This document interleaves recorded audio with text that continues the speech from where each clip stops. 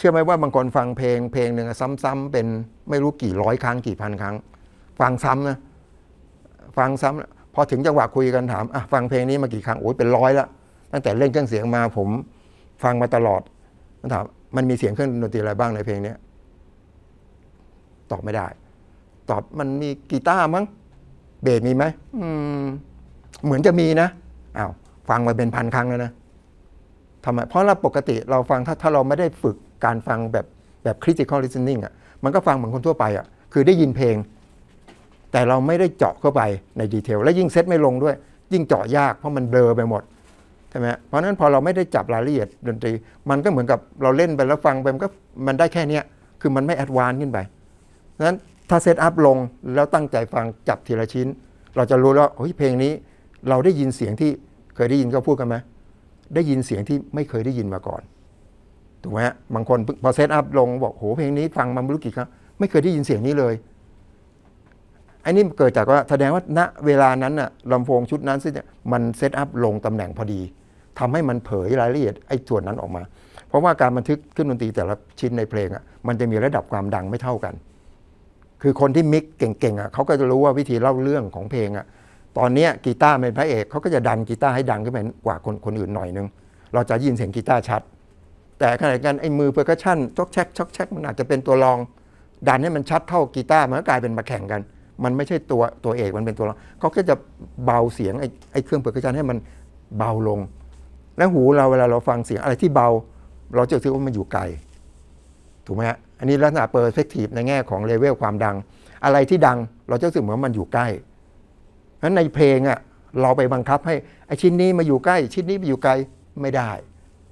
เราบังคับเป็นชิ้นไม่ได้ เพราะงานเพลงเนี่ยมันเกิดการ mix เขา mix เสร็จก็เหมือนเหมือนงาน Photoshop คุณทำเป็น layer กีตาร์ layer หนึ่งจะจัดเสียงยังไงจะจูนอะไรมันมันเป็นกีตาร์ของมันลายหนึ่งพอเสร็จกีตาร์คุณจะทำให้มันเสียงหม่นลงทำให้มันเข้มขึ้น จะใส่เอฟเฟกต์อะไรกับมันยังไงทำทำเฉพาะกีตาร์กลองเบสร้องเขาจะแต่งหมดนะครับ ผมคุยกับวูดดี้ sound engineer เนี่ยก็บอกไม่มีหรอกพี่ไม่มีเพลงไหนที่ อัดแล้วไม่แต่งเลย เขาไม่เคยเจอในอาชีพเขาเลย ต้องแต่งเสียงมัน ก็เหมือนคุณถ่ายหนัง คุณจะให้มันเป็น period ย้อนยุค คุณจะถ่ายกันสดๆหน้าสดมาอย่างนี้แล้วก็มิเอาไม้เราดูเลยบอก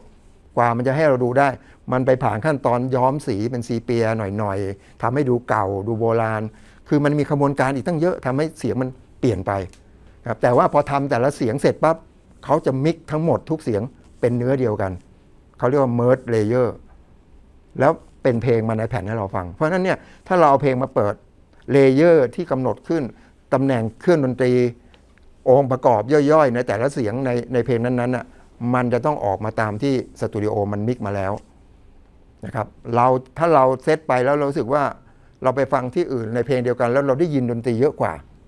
เรากลับมาบ้านเราเราเปิดเพลงเดียวกันเฮ้ยทำไมเราไม่ได้ยินเสียงนี้ แสดงว่าตำแหน่งของเรายังไม่เป๊ะ มันทำให้รายละเอียด ที่เบาๆอะมันหายไปนะครับเมื่อไหร่ที่ลงตัวเราจะได้ยินอีกอีกมิติทันทีเลยว่ารายละเอียดของเพลงนั้นมันจะเปิดออกมาทันทีนะครับอะเบรกนิดนึงขออนุญาตทานน้ำหน่อยเอ้ยเมื่อกี้เมื่อกี้มีข่าวน้ำไหมผมอะฟังเพลงสักสักเพลงคำถามเลยเลยครับอะนะครับถามเลยได้ไหมครับอะถามเลยได้แล้วอย่างตำแหน่งนั่งฟังนี่มันต้องฟิกยังไงครับเนี่ย ก็ทิ้งอ่าเมื่อกี้ไม่ได้บอกถึงตรงนั้นพอเราสมมุติเราเริ่มต้นที่ที่ที่เมตรแปดเมตรแปดสิบนะให้มันเป็นจุดเริ่มต้นเหมือนกันทุกคนแล้วกัน สุดท้ายมันจะไปจบที่เมตรเจ็ดสิบกว่าเมตรแปดสิบกว่าก็แล้วแต่แล้วแต่ลำโพง แต่ให้เริ่มต้นตรงจุดจุดนี้ พอคุณเริ่มวัดทุกอย่างลงตัวเสร็จครับนะครับตรงเมตรแปดสิบเนี่ยพอเราได้ตำแหน่งลำโพงวางไปสองข้างใช่ไหมตั้งให้ตรงกลางลำโพงเป๊ะ เสร็จแล้วเนี่ยจุดนั่งฟังเริ่มต้นที่เราจะเริ่มที่จะวัดเสียง เพื่อเริ่มจูนเสียงเนี่ยให้เราทำจากจุดเนี้ย ลากลากไปตัดเส้นตรงกลาง เท่ากับเมตรแปดสิบจะเป็นสามเหลี่ยมเท่าเลยอย่างเงี้ยอ่ามันจะเป็นสามเหลี่ยมด้านเท่า อันนั้นคือจุดจุดปลายตรงโน้นนะที่เรานั่งเขาเรียกจุด sweet spot คือจุดที่ sound engineer มันนั่ง mix เพลง ถ้าคุณเห็น sound engineer เวลาเขา mix เขาจะมีคอนโซลใหญ่ๆอยู่ข้างหน้าเห็นไหมฮะแล้วมีลำโพงมอนิเตอร์อยู่สองข้างเนี่ยระยะมันจะเป็นสามเหลี่ยมด้านเท่านะครับเพราะฉะนั้นตำแหน่งเวลาเขานั่งฟังตรงเนี้ยเขาอยากให้กีตาร์ไปทางซ้ายทางขวาเขาก็จะpan stereo เวลา mix มันจะมีมันจะใช้คอม มันก็โยกกีตาร์มาไว้ซ้าย อยากให้นักร้องอยู่กลางเขาก็ปล่อยไว้ตรงกลาง กลองเอียงขวาหน่อยเขาก็จะโยก ซึ่งพวกนี้วิธีการ multitrack กันมันทำทำไม่ยากนะครับจะเอาเสียงอะไรก็อาจเป็น mono มาทุกทุกทุกลายมันจะเป็น mono หมด แล้วเอา mono มา duplicate ลงไปซ้ายขวาเป็น RL channel เท่ากันทุกอย่าง ถ้า duplicate อย่างเดียวแล้วไม่ทำอะไรเลย มันจะเป็น center ก็คือเสียงตรงกลาง เป็น mono นะเป็นตรงกลาง แต่ถ้าต้องการให้เสียงเนี้ยมันเอียงไปทางขวา เขาก็จะ duplicate เสร็จเขาก็จะลดความดังทางซ้ายลงนิดนึง มันก็จะเอียงนะครับเอียงไปทางที่ดังกว่า ถ้าต้องการให้มันไปทางซ้ายเขาก็จะเบาทางขวานิดนึงก็จะเอียงไปทางแค่นี้เองนะครับ ส่วนให้ให้มันเป็น layer หน้าหลัง ชิ้นไหนต้องการให้มันอยู่ข้างหน้าก็เพิ่มความดังเข้าไป อย่างที่บอกอะไรที่ดังเราคืออยู่ใกล้ อะไรที่เบาเขาก็ลดความดังให้มันอยู่ข้างหลัง ก็จะเกลี่ยมันกลายเป็น layer ดนตรี นะครับดังนั้นเรานั่งตรงจุด sweet spot แล้วนั่งฟังไอ้พวกนี้คือสำคัญเนี่ย setup อะมันจะตอนนี้ผมทำไปพร้อม ๆ มันอยู่สองสองโปรแกรมนะครับ คุยกับผู้นำเข้ากับร้านค้า ทุกร้านที่ที่มี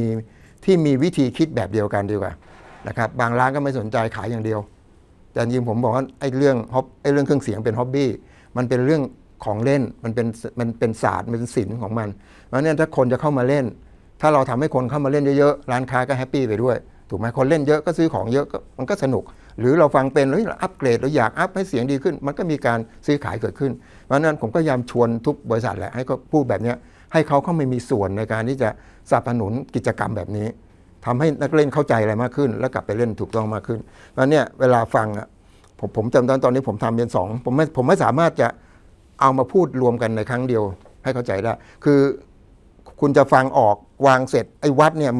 ไอ้เรื่องวัดตำแหน่งพวกนี้อธิบายแล้วกลับไปบ้านคุณทำได้เลยอยู่แล้ว ไม่ยาก แต่คุณจะยากตอนที่คุณนั่งตรง sweet spot ลำโพงสองข้างถูกไหมแล้วเปิดเพลงปั๊บเนี่ยมันยากตรงไหนมันยากตรง พอเสียงมาเนี่ยแล้วจะแยกยังไง จะวิเคราะห์ยังไง จะรู้ได้ไงว่าไอ้ออกมาตรงนี้ดีแล้ว หรือยังไม่ดี ตรงไหนยังไม่ดีตรงไหนดีแล้ว แล้วถ้าจะจะไปขยับลำโพงขยับเพื่ออะไร เพราะคุณต้องผ่านวิธีได้ยินวิเคราะห์ ที่ได้ยินแล้วรู้ปัญหาก่อน แล้วรู้อีกจากปัญหาว่าจากตรงเนี้ยเบสยังไม่แน่นจะต้องขยับยังไง ขยับไปทางไหนไอเนี่ยทั้งหมดเนี่ยมันเป็นกระบวนการ ear training นะครับผมมีคอร์ส ear training อีกคอร์สหนึ่งที่เกี่ยวข้องกับการ set up set up ลำโพงกับ ear training สองคอร์สเนี่ยผมอยากพยายามจะ run ไปเรื่อยๆ ก่อน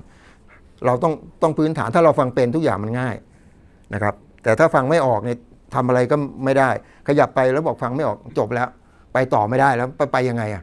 นะครับในเมื่อเราแยกไม่ได้ หรือเราได้ยินว่ามันต่าง แต่ไม่รู้มันต่างตรงไหน ไม่รู้จะจับหลักยังไง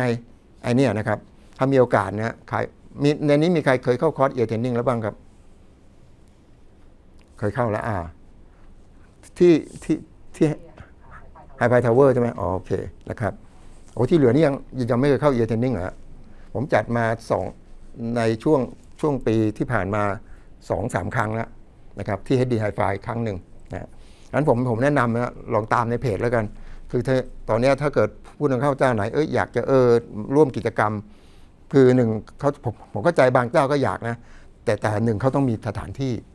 คือจะต้องสถานที่รองรับและผู้เข้านักคนที่เข้ามาร่วมเนี่ยจะต้องฟรี อันนี้คือประเด็นที่คุยกันเลยตกลงกันไปเลยนะครับ ว่าว่าจะต้องไม่มีค่าใช้จ่ายนะครับ แล้วผมก็ยินดีที่จะมา บรรยายให้ฟัง ผู้นำเข้าก็เป็นภาระอยู่ส่วนหนึ่งแหละเหมือนมันก็เหมือนการลงทุนแหละนะครับ ถ้าเราจะทำธุรกิจหนึ่งคุณก็ต้อง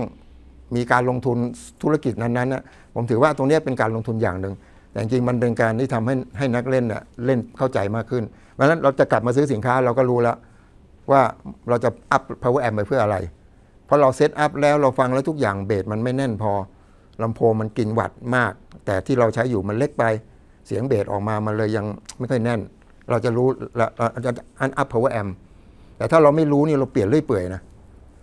บางทีเจอปัญหาอยู่ฟังแล้วมันยังไม่ดีไปคุยกับร้านร้านก็นู่น จะขายอะไรก็ก็ก็ก็โยนโยนให้เป็นเป็นเป็นแพ้รับบาปไปอะนะครับ อยากจะขายลำโพงก็บอกว่าเป็นที่ลำโพงเปลี่ยนลำโพงที่บางทีปัญหาอาจจะไม่อยู่ตรงนั้นก็ได้นะครับ ทีนี้ถ้าฟังเสร็จคุณก็ค่อยมาขยับอย่างที่บอกไงว่าอธิบายไม่ได้ว่าฟังแล้วเมื่อไหร่จะขยับไปทางไหน ต้อง เราต้องต้องเอียร์เทนนิ่งต้องเข้าใจตรงนี้ก่อนนะครับ